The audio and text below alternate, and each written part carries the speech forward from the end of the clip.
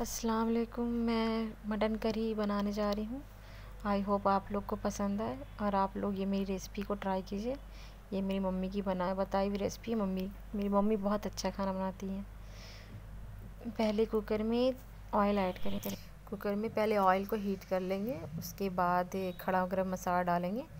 दो, तीन छोटी इलायची, दो बड़ी इलायची, तीन चार छोटी बड़ी साइज़ की दालचीनी, ज़ीरा, काली मिर्च, आठ, दस, तीन चार लौंग और इसके बाद आप इसमें तेज़पत्ता डालेंगे। इसको डालने के, चटकने के बाद आप इसमें हर जो ये है, जितना भी खड़ा मसाला है, जो भी हमारे पास, उसको डाल लेंगे। उसके बाद जो भी प्याज हमारे पास कटी हुई है, चार पाँच बड़े साइज़ की प्याज काट के रफली चॉप्ड है, इसको डाल के थोड़ा देर शैलो फ्राई करेंगे। और ये मेरा प्याज थोड़ा सा फ्राई कर लिया है। अब इसमें मैं मटन ऐड करने वाली हूँ। मटन को डालने के बाद थोड़ा सा इसमें हल्दी, नमक डाल के फ्राई करेंगे। ये रेसिपी मेरी मम्मी की बताई हुई, मेरी मम्मी हमेशा ऐसा ही बनाती और मेरी नज़र में मेरी मम्मी मेरे लिए शेफ़ हैं, जो बहुत अच्छा खाना बनाती हैं। और ये कुकर में डालने के बाद थोड़ा देर चलाएँगे और जो भी हमारे पास, मैं ट्रे में जो मैंने मसाला रखा है आठ दस कली, लहसुन की कली छिली हुई और चार पाँच अपने हिसाब से अपनी मिर्च डाली, जितना आपको तीखा पसंद है। चार पाँच हरी मिर्च और तीन चार सूखी लाल मिर्च और धनिया पाउडर, तीन चार चम्मच ज़ीरा पाउडर, कश्मीरी लाल मिर्च पाउडर मैं डाल रही हूँ कलर के लिए। ये ऑप्शनल है, आपको डालना है तो डाल भी सकते हैं, वरना आपकी मर्ज़ी। मैंने थोड़ा मेरा वॉइस और ये वीडियो आगे पीछे हो गया है, बाकी अगली बार बनाऊँगी तो मैं इस पर इसका ध्यान दूँगी।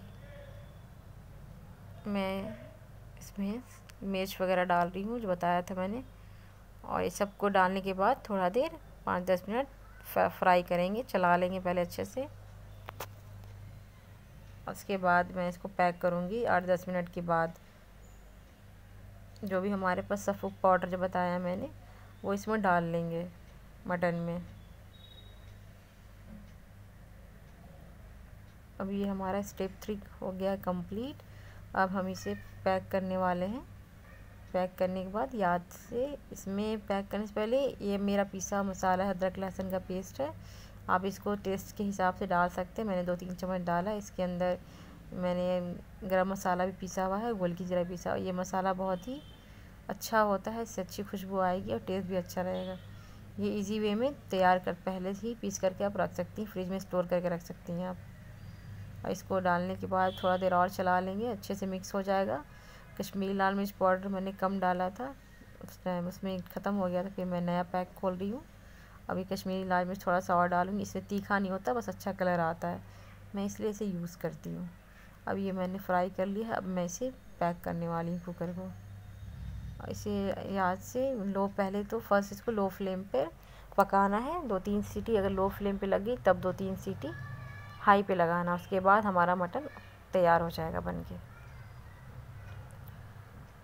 अब हमने, मैंने कुकर पैक कर दिया है। अब हमारा मटन तैयार है। ये हमारी सीटी भी पूरी हो गई और ये बहुत ही अच्छा बना है।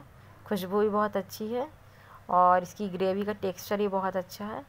आई होप ये रेसिपी आप लोग को पसंद आए। आप लोग इसे बनाइए घर पे।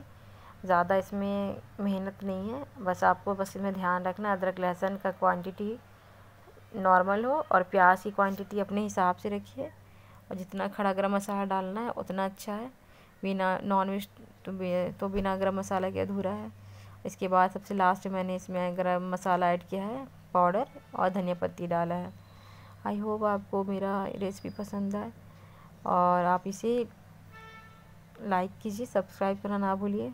इन मैं फिर से अपनी रेसिपी शेयर करूँगी। आप लोगों को पसंद आएगा। Thank you for watching this video.